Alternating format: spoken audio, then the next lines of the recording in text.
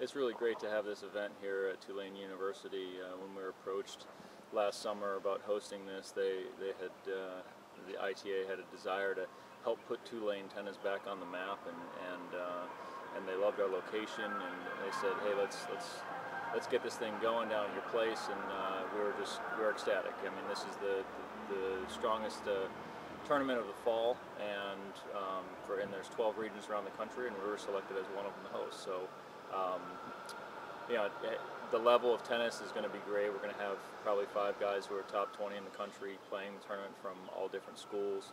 Um, so it's going to give our guys a great opportunity to play against the top competition right off the bat. And you know, it's gonna, it's really going to be great for the community because they're going to be able to come out right in their backyard. It's free, you know, and you're going to see the top tennis from the southern region here.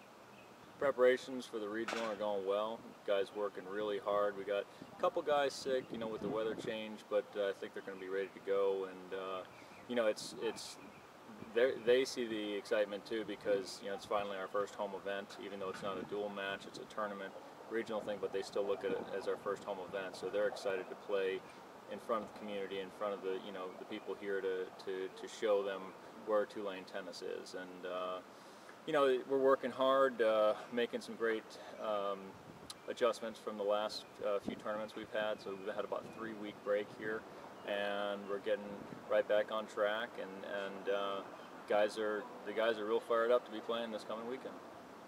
Yeah, the guys guys had a little bit long uh, a little bit of long break, and so we're they're they're they're a little bit too loose sometimes. Uh, but you know, it's uh, you catch them doing stuff like this every so often.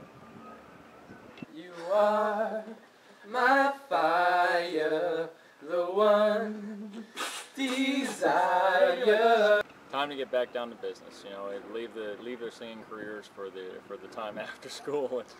Let's get back to tennis. It doesn't mean don't use your feet. Still got to use your hands and your feet together. Mike. Mike.